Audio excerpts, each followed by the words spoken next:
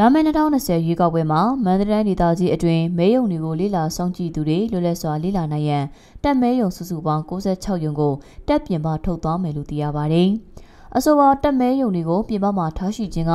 နိုင်ငံသားများ INGO NGO စတဲ့ရပ်ဖက်ဆိုင်ရာလူမှုအဖွဲ့အစည်းများရွေးကောက်ပွဲလိလာဆောင်ကြည့်သူများအလတကူလိလာခွင့်ရရှိအောင်ဆောင်ရွက်ပေးခြင်းဖြစ်ကြောင်း2019ခုနှစ်ကိုအခြေခံမဲဆန္ဒရှင်စီရင်ပြုစုရေးနေ့ဖြစ်သတ်မှတ်ခဲ့ပြီး စီမံချက်ရေးဆွဲဆောင်ရွက်ခဲ့ရာမြို့နယ်အလိုက်မဲစီရင်များကိုပြုစုပြီးဖြစ်က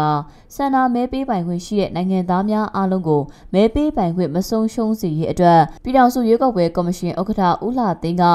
မန္တလေးဒေသကြီးရွေးကောက်ပွဲကော်မရှင်အဖွဲ့ခွဲများနဲ့တွေ့ဆုံစီမှာပြောကြားခဲ့တာပါ။မန္တလေးဒေသကြီးအတွင်းမှာပြီးခဲ့တဲ့2015ရွေးကောက်ပွဲမှာတက်ပြင်မဲယုံအဖြစ်ဆောင်ရွက်ခဲ့တဲ့မဲယုံ3ယုံရက်ွက်ကြေးရောင်များနဲ့ပူးတွဲမဲယုံ9ယုံစုစုပေါင်းမဲယုံ12ယုံရှိခဲ့ပေမဲ့ မဲယုံတွေကိုလေးလာဆောင်ကြည့်သူတွေလွတ်လပ်စွာလေးလာနိုင်မှုအတွက်တက်မဲယုံစုစုပေါင်း66ယုံကိုတက်ပြင်ပအပြင်ထုတ်သွားမယ်လို့ဦးရှိန်ဝင်းကပြောကြားခဲ့တာဖြစ်ပါတယ်။ပြီးခဲ့တဲ့2015ရွေးကောက်ပွဲမှာမန္တလေးဒေသကြီးအတွင်းမှာမဲပေးပိုင်ခွင့်ရှိသူဦးရေ44သိန်းကျော်အနက်32သိန်းကျော်မဲပေးခဲ့ကြပြီးရာခိုင်နှုန်းအနေနဲ့ဆိုရင်